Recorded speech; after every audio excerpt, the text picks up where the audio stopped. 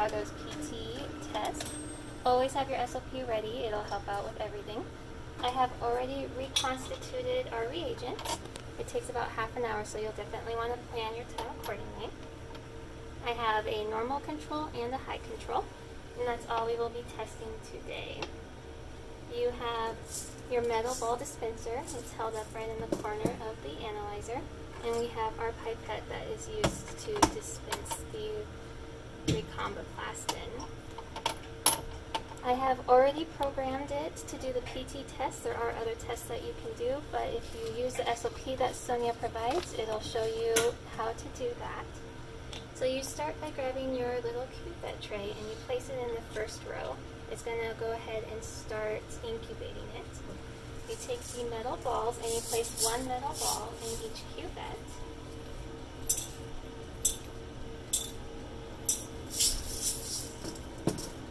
And then this is where you would typically program it, but I have already done that. So normally you would then dispense your patient's plasma as well as your controls. But like I said, we are just doing our controls today. So we're taking 50 milliliters of our normal control and we are going to dispense it into the first two cuvette trays.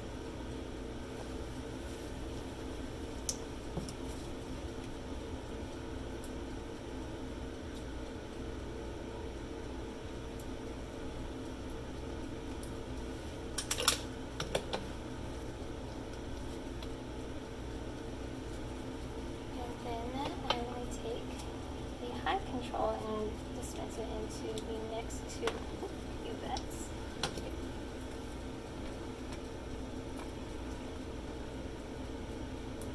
This is going in position three. And then four, which is also displayed on the SOP that Sonia provides you with. There are other areas where you can add more patients in cuvettes, so you can do quite a few at one time. After that, we start the timer, so I'll press A, and it will time it for 60 seconds. Where you want to move your cuvette tray over to the testing area, you'll grab your pipette, you push down to load it, and you're going to want to prime it. So you're going to prime the first one right into there.